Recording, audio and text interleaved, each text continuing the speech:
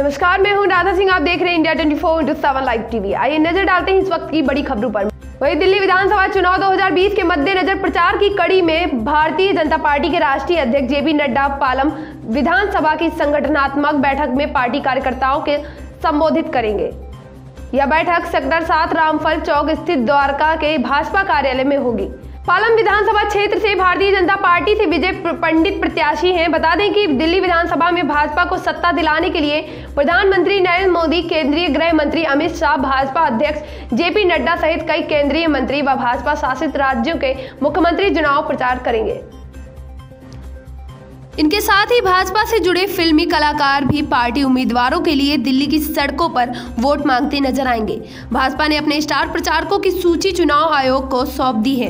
इस सूची में मोदी शाह व नड्डा के साथ ही केंद्रीय मंत्री राजनाथ सिंह व नितिन गडकरी सहित कई केंद्रीय मंत्रियों व वरिष्ठ नेताओं के नाम शामिल हैं। उत्तर प्रदेश के मुख्यमंत्री योगी आदित्यनाथ सहित अन्य भाजपा शासित राज्यों के मुख्यमंत्रियों को भी दिल्ली में चुनाव प्रचार के लिए उतारा जाएगा। आपको बता दें, दिल्ली के सभी सांसदों को भी स्टार प्रचारकों की सूची में रखा गया है। कला जगत से राजनीति में आने वाले भाजपा नेता भी पार्टी के पक्ष में हवा बनाने के लिए रोड शो करेंगे। वही खबर आ रही है क्या शिवसेना के बुलावे पर राहुल गांधी मुख्यमंत्री उद्धव ठाकरे के साथ रामलला के दर्शन करने जाएँगे। महाराष्ट्र के मुख्यमंत्री उद्धव ठाकरे अपनी सरकार के सौ दिन पूरे होने पर रामलला के दर्शन करने अयोध्या जाएँगे। ये सवाल इसलिए खड़ा हो रहा है क्योंकि कांग्रेस और शिवसेना अब साथी है। महाराष्ट्र में कांग्रेस और एनसीपी ने शिवसेना को समर्थन दिया। हालाँकि शिवसेना और कांग्रेस की विचारधारा एकदम जुदा रही है। कई मुद्दों पर कांग्रेस और शिवसेना गठबंधन से पहले आमने सामने नज़र आई है। ऐसे में दिल्ली की भाजपा सांसद मीनाक्षी लेखी ने भी शिवसेना की चुटकी लेते हुए पूछा है कि क्या शिवसेना कांग्रेस के साथ अयोध्या जाएगी? बता दें कि महाराष्ट्र में गठबंधन के बाद भी कांग्रेस और शिवसेना संसद में नागरिकता संशोधन कानून के मुद्दे पर अलग अलग खड़े अलग अलग खड़ी नज़र आ रही थी। शिवसेना ने लोकसभा में सीए बिल का समर्थन किया था। वहीं राज्यसभा में वोटिंग के दौरान सदन से वॉकआउट कर एक तरह से इसका समर्थन किया था। वहीं आपको बता दें, कांग्रेस शुरुआत से ही इस बिल का विरोध करती रही है, जो अब तक जारी है। हालाँकि शिवसेना ने लोकसभा में इस बिल का समर्थन किया तो राज्य में उद्धव ठाकरे की, मुख्यमंत्री की कुर्सी हिल गई। कांग्रेस की तरफ़ से तुरंत चेतावनी दी गई कि अगर शिवसेना ने राज्यसभा में बिल का विरोध नहीं किया तो राज्य की सत्ता सेवा बेदखल हो सकती है। कांग्रेस के दबाव में शिवसेना ने राज्यसभा में बिल का विरोध करने की सार्वजनिक घोषणा भी कर दी है। आपको बता दें, पिछले दिनों संजय राउत को इंदिरा गांधी और अंडरवर्ल्ड डॉन करीम लाला पर दिए अपने बयान को भी कांग्रेस नेताओं के विरोध के बाद वापस लेना पड़ा था। वहीं झारखंड के मुख्यमंत्री हेमंत सोरेन 24 जनवरी को अपने मंत्रिमंडल का विस्तार कर रहे हैं। इस बाबत सीएम ने राज्यपाल द्रौपदी मुर्मू से मुलाकात की है। कहा जा रहा है कि शुक्रवार को दोपहर एक बजे हेमंत कैबिनेट का विस्तार होगा। कांग्रेस और झामुमो के कुल आठ मंत्रियों को राजभवन में पद और गोपनीयता की शपथ दिलाई जाएगी। झारखंड में राज्य मंत्री परिषद का विस्तार 24 जनवरी को होगा। इससे पूर्व गुरुवार को मुख्यमंत्री हेमंत सोरेन ने राज्यपाल द्रौपदी मुर्मू से राजभवन में मुलाकात की थी। समझा जा रहा है कि इस दौरान उन्होंने नए मंत्रियों के नाम राज्यपाल को सौंपा। वही मंत्रियों की संख्या और विभागों को लेकर भी बातें फाइनल हो चुकी है। इधर मंत्री पद के बंटवारे पर लगभग सहमति बन चुकी है। बताया जाता है कि कांग्रेस को मंत्रियों के तीन पद और मिल सकते हैं। इसके साथ कांग्रेस के पाँच मंत्री हो जाएँगे। झामुओं के खाते में मंत्रियों के कुल पाँच पद मिले हैं। राजद को एक पद पहले ही दे दिया गया। कांग्रेस कोटे से राजेंद्र सिंह, दीपिका पांडे तथा बन्ना गुप्ता को मंत्री बनाने की चर्चा है। झामुमो से स्टीफन मरांडी, चंपई सोरेन, हाजी हुसैन अंसारी, जगन्नाथ महतो, दीपक बिरुआ तथा मथुरा महतो के नाम की चर्चा है। हालाँकि अंतिम समय में कुछ नाम बदल भी सकते हैं। सीएम हेमंत सोरेन ने बुधवार के दिन में कहा था कि जल्द ही उनके मंत्रिमंडल का विस्तार किया जाएगा। इस बाबत सारी बातें तय कर राजभवन से समय मांगा जाएगा।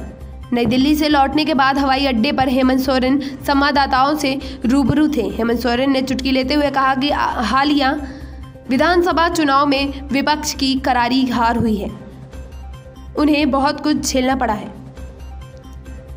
वही साथ ही खबर आ रही है, कांग्रेस के वरिष्ठ नेता दिग्विजय सिंह ने कहा है कि आरएसएस का काम ही झगड़े, दंगे, फसाद और विवाद कराना है। दिग्विजय ने जनसंख्या नियंत्रण पर कहा है कि आरएसएस के लोग ये भूल जाते हैं कि जनसंख्या बढ़ाने का मूल कारण गरीबी है। गरीब लोगों के यहाँ ही ज़्यादा बच्चे मिलेंगे और पढ़े लिखे लोगों के यहाँ कम। राजगढ़ घटना पर कहा कि धारा 144 का उल्लंघन किया है। यदि कोई महिला कलेक्टर के साथ गाली गलौज करेगा तो ऐसे में उन्होंने थप्पड़ मार दिया। तो क्या बुरा किया? दिग्विजय सिंह बुधवार को यहाँ इंटक के समारोह में भाग लेने के लिए आए थे। दिग्विजय ने कहा कि भारत के राष्ट्रपति संसद में कहते हैं कि एनआरसी लेकर आएँगे अब प्रधानमंत्री नरेंद्र मोदी और गृह मंत्री अमित शाह कह रहे हैं कि एनआरसी पर बात ही नहीं हुई है। देश की जनता को ये बताया जाना चाहिए कि झूठ कौन बोल रहा है। उन्होंने कहा कि राष्ट्रपति ने संसद में अभिभाषण में एनआरसी लाने की बात कही थी। इसके बाद अमित शाह ने कहा था कि पहले सी फिर एनपीआर, उसके बाद एनआरसी आएगा। अब प्रधानमंत्री कहते हैं कि इस पर बातचीत ही नहीं हुई है। ये कैसी सरकार है, हम किस पर विश्वास करें? इसी अविश्वास के कारण इसी पैच इसी अविश्वास के कारण देश में भ्रम की स्थिति बनी हुई है और इसका एनआरसी और सीए का विरोध हो रहा है।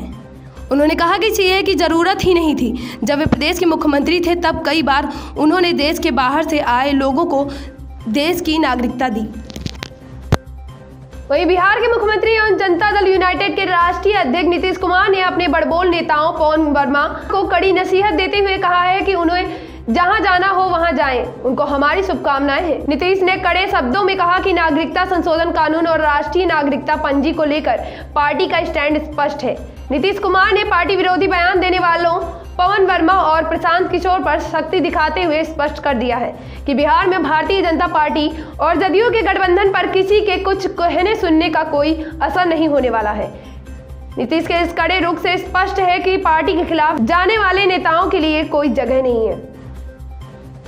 मुख्यमंत्री ने कहा कि पवन वर्मा के लिए उनके दिल में बहुत इज़्ज़त है।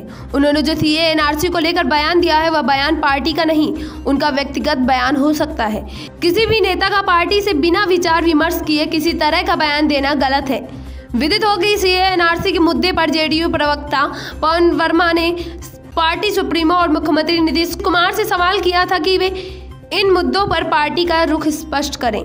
पवन वर्मा ने पत्र लिखकर कहा था कि 2017 में नीतीश कुमार ने उन्हें बताया था कि बीजेपी मोदी किस तरह लोकतांत्रिक मूल्यों को खत्म कर रहे हैं। लेकिन अब वही नीतीश उसी बीजेपी के साथ दिल्ली में गठबंधन कर रहे हैं। पार्टी प्रवक्ता ने आरोप लगाया कि इस डबल स्टैंडर्ड की वजह से ही पार्टी के कई विधायक साथ छोड़ रहे हैं। पार्टी में ही कुछ ऐसे विचार हैं जो कि नीतीश कुमार के साथ नहीं मेल खा रहे हैं। और ऐसे मुद्दों को लेकर गुस्सा बढ़ता जा रहा है। तो ये थी इस वक्त की कुछ बड़ी खबरें, आगे की तमाम बड़ी खबरों के लिए देखते रहिए India twenty four into seven live TV. नमस्कार।